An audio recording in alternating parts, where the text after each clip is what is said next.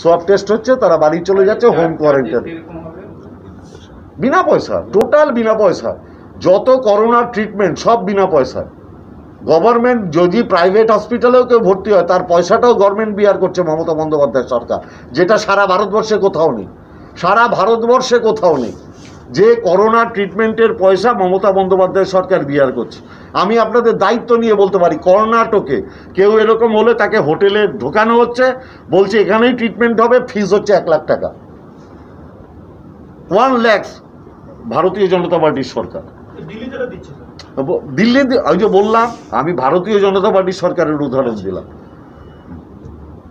আর আরেকটা কথা বলি বিজেপির নেতা রাহুল সিনহা বলেছেন এই পরিযায়ী শ্রমিকদের ফেরত আনার কি দরকার ছিল? পঁচিশ কোটি টাকা মমতা ব্যানার্জি কেন খরচা করল? আমি স্পেসিফিক এই কথাটা বলছি, রাহুল সিনহা বলেছে। তার মানে পরিযায়ী শ্রমিকদের প্রতি ওনাদের কি মনোভাব? রাহুল সিনহার কথা থেকে এটা পরিষ্কার।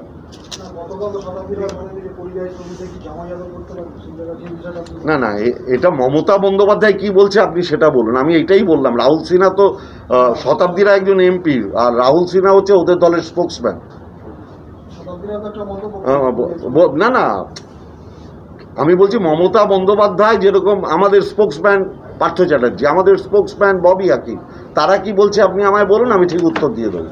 রাহুল সিনহা হচ্ছে ওদের স্পোক্সম্যান যদি রাহুল সিনহা না বলে প্রণয়বাবু বলতেন আমি উত্তর দিতাম না।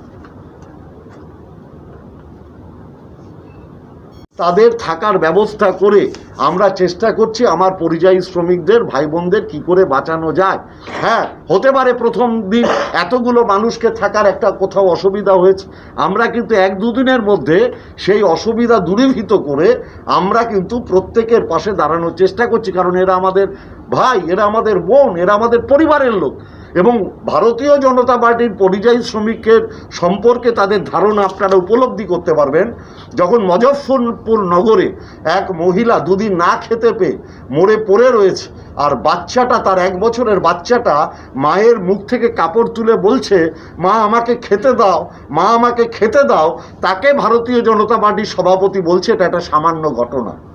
এইটা থেকে ভারতীয় জনতা পার্টির মনোভাব আপনারা নিশ্চয়ই উপলব্ধি করতে পারছেন। যে পরিযায়ী শ্রমিক একশো আটানব্বই জন মারা গেল, তার মধ্যে একশো অষ্টআশি জন হিন্দু। ট্রেনে যে আশি জন পরিযায়ী শ্রমিক মারা গেল, তার মধ্যে সাতাত্তর জন হিন্দু। মুজাফরপুর নগরের আমার যে মা মারা গেল, তিনিও হিন্দু। তাহলে হিন্দুত্বটা কি শুধু বড়লোকদের জন্য? যে আটজন আটষট্টি হাজার কোটি টাকা ফাঁকি দিয়ে ভারতবর্ষ থেকে চলে গেল, যাদের ভারতীয় জনতা পার্টি সাহায্য করল, তাহলে হিন্দুত্বটা শুধু ভোটের জন্য, হিন্দুত্বটা শুধু বড়লোকদের জন্য?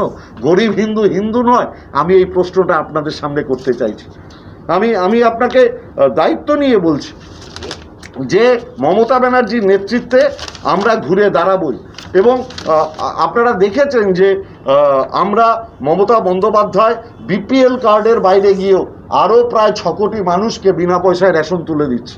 এবং যাদের, যারা গরিব মানুষ রেশন কার্ডও নেই, তাদেরও দু মাসের food food coupon Mamata Bandyopadhyay, আমি যেরকম নৈহাটির কথা বলতে পারি নৈহাটিতে অলরেডি যাদের এরকম কোনো কার্ড নেই, অথচ গরিব মানুষ দু হাজার আটশো পরিবার, অর্থাৎ ছ হাজার আটশো মানুষ, আর গ্রামে ষোলো হাজার ফুট কুপন। এটা মমতা বন্দ্যোপাধ্যায় সরকার দিয়েছে। আপনারা গ্রামে, গঞ্জে সব জায়গায় খোঁজ নিলে জানতে পারবেন। আমরা করোনায় সাংসদ অভিষেক বন্দ্যোপাধ্যায়ের দেখানো পথে আমরা নৈহাটি মিউনিসিপ্যালিটিতে পনেরোই এপ্রিল থেকে তিরিশে এপ্রিল আমরা কমিউনিটি কিচেন চালিয়েছি। আমরা কাপাচাকলা অঞ্চলে কমিউনিটি কিচেন চালিয়েছি। আমরা জেঠিয়া পঞ্চায়েতে কমিউনিটি কিচেন চালিয়েছি। আমরা পলাশিমাজি পাড়া শিবদাসপুরে প্রত্যেক পরিবারের বাড়িতে আমরা এক মাসের খাবার পৌঁছে দিয়েছি। এ বাদ দিয়ে বিভিন্ন জায়গায় আমাদের সনদদের নেতৃত্বে তারপরে কমিউনিটি কমিউনিটি কিচেন চলেছে।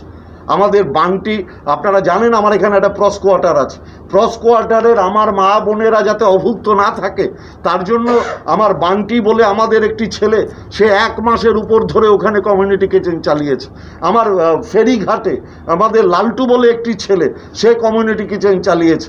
আমার গৌরীপুরে, আমি সমস্ত গৌরীপুরের গরিব মানুষের জন্য, রাজেন্দ্র গুপ্ত, রাজেশদের নেতৃত্বে, আমরা প্রত্যেক মানুষের বাড়িতে বাজার পৌঁছে দিয়েছি। আমার হকার ইউনিয়নের সভা সভাপতি বিষ্ণু অধিকারীর নেতৃত্বে আমরা অনেক বাড়িতে খাবার পৌঁছে দিয়েছি। আমরা চব্বিশ নম্বর ওয়ার্ডে সুদীপ সিংয়ের নেতৃত্বে আমরা কমিউনিটি কিচেন করে খাবার পাঠিয়ে দিয়েছি। আমরা জেঠিয়ায় বিভিন্ন জায়গায় মদন সুমনদের ওরা ইনিশিয়েটিভ নিয়ে ওরা বিভিন্ন জায়গায় খাবার পৌঁছে দিয়েছে। আমরা কোথায়? ভটপুকুরে আমরা খাবার পৌঁছে দিয়েছি। আমরা শুক্রবার দিন নাগদার বুকে আমরা সব গরিব মানুষের কাছে খাবার পৌঁছে দিচ্ছি। আমরা আগা আহ, গোয়ালা ফটকে বিহারি রাজা ওদের নেতৃত্বে আমরা সমস্ত জায়গায় খাবার পৌঁছে দিয়েছি। আমরা গরিফায় রতন নন্দী, সুনীত প্রতাপ হাবুলদা মধুমিতা লিটু এদের প্রচেষ্টায় আমরা গরিফায় প্রচুর মানুষ বাড়িতে আমরা হ্যাঁ হ্যাঁ হ্যাঁ হ্যাঁ আমরা তিন নম্বর ওয়ার্ড। আমরা ওখানে আমরা খাবার বাড়িতে বাড়িতে পৌঁছে দিয়েছি মনোজ সাউয়ের নেতৃত্বে। অর্থাৎ হ্যাঁ হ্যাঁ মনোজ দাসের নেতৃত্বে। অর্থাৎ আমরা কিন্তু আপ্রাণ চেষ্টা করেছি কি করে মানুষের পাশে থাকা যায়। এছাড়া আমাদের মাননীয় পৌর প্রধান শ্রী অশোক চট্টোপাধ্যায়, ভাইস চেয়ারম্যান শ্রী ভজন মুখার্জি এবং হেলথের সিআইসি শ্রী সনক দে, তারা এই নৈহাটির বুকে আমাদের কোয়ারেন্টাইন সেন্টার একটা নৈহাটি বাস টার্মিনাস আর একটা হচ্ছে নৈহাটি যাত্রী নিবাস। আপনি একটা জায়গাতে গিয়েও খোঁজ নিয়ে দেখতে পারেন আপনারা, আমি আপনাদের অবারিত দ্বার আপনাদের, যে তাদের সাথে কথা বলুন, তারা কীরকম আছে। আমি দায়িত্ব নিয়ে বলছি, প্রত্যেকটা মানুষের দুবেলা খোঁজ খবর আমরা প্রতি মুহূর্তে নিচ্ছি, যাতে কোনো মানুষ কষ্টে না থাকে। আর আপনাদের মাধ্যমে আমি আবেদন করছি নৈহাটির মানুষকে তথা বাংলার মানুষকে যে আমার একটাই অনুরোধ করোনা নিয়ে কেউ অযথা আতঙ্কিত হবেন না।